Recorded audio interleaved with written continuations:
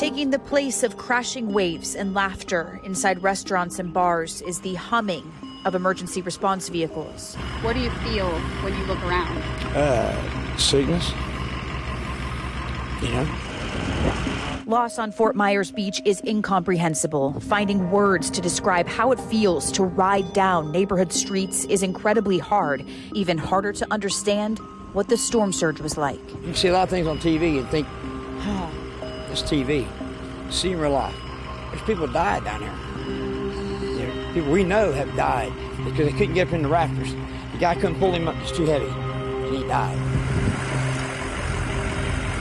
We found Steve Griffin and his wife Diana riding their bikes down what's left of Estero Boulevard. What do we do now? The hurricane we got, but what do we do now? The first step search and rescue, finding people alive. We arrived here in Fort Myers Beach Wednesday at 10 p.m. In the first 48 hours, crews found 1,000 people, 200 who wanted off the island right away. Others who decided to stay are now wavering on that decision. After 72 hours, you have no food, you have no water, uh, you have exhausted your supplies, and there is no infrastructure in place. There's no stores open that you're able to replenish it so you can stay on the island. Team, go ahead. Of course, another part of the mission is finding people who didn't make it.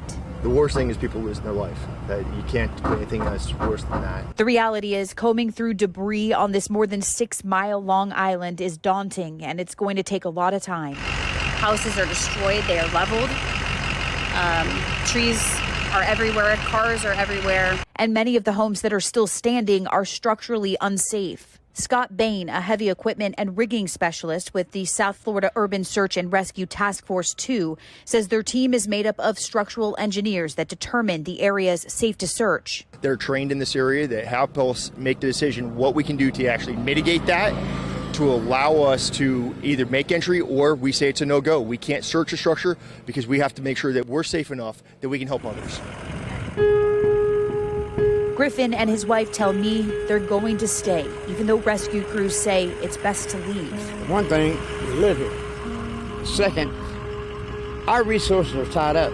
We don't have the resources of everybody else. We, we have what we have. This, this is our home.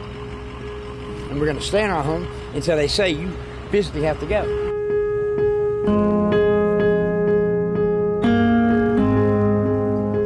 Figuring out what comes next won't be easy, but rescue teams say the town must first stabilize, a process they're working to accomplish around the clock.